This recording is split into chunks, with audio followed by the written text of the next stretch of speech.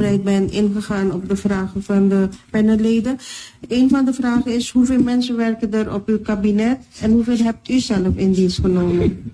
Ja, uh, ik denk dat de vraag ook gesteld... En, pardon, en is het zo dat ze hele abnormale hoge extra toelagen krijgen? Ja, dat zijn die zaken die je soms krijgt en waarvan je vraagt, waar, waar haalt men al deze informatie? Want alles is open daar zo.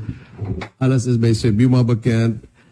Een journalist gaat een verhaal schrijven, terwijl die journalist alle mogelijkheden heeft om bronnenraad te plegen. Die bronnen zijn open bronnen.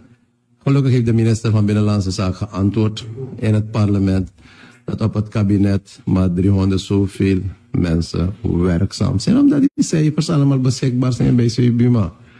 Twee is, houdt u rekening mee dat de president begonnen is 2,5 jaar geleden, waar vier mensen aangemeld hebben om hem te ondersteunen. Vier. En dan moet de president het land met executieve bevoegdheden, met constitutionele bevoegdheden, het land leiden. Ja, hij heeft personeel aangetrokken, hij heeft zijn structuur aangepast en daarom draait het kabinet. Het is een sterk kabinet. Het beleid wordt rechtstreeks aangestuurd van het kabinet van de president, zoals de grondwet dat ook eist van de president.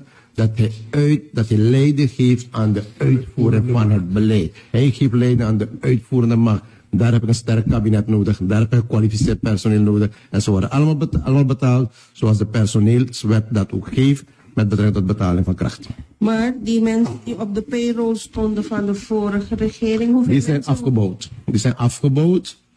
Uh, allemaal, al die adviseurs zijn afgebouwd. Met alle adviseurs zijn er gesprekken gevoerd. Als ik me niet vergis, zijn er nog uh, vier of vijf die juridisch uh, ingewikkelde constructies hebben. En ik heb de directeur van het kabinet gevraagd om ook met juristen dit goed aan te gaan pakken, zodat we geen rechtszaken tegen ons krijgen.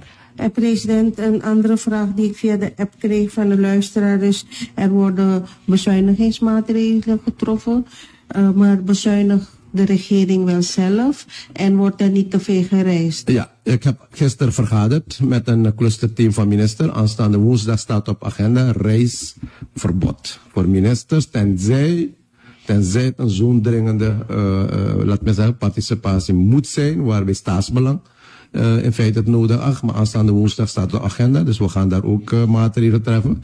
Er zullen ook maatregelen getroffen worden in, in andere sfeer, voor wat betreft inzet van materiaal en middelen. En ja, u heeft zelf gezien, ik ben net hier gekomen met twee auto's, dus dat zal ook voor andere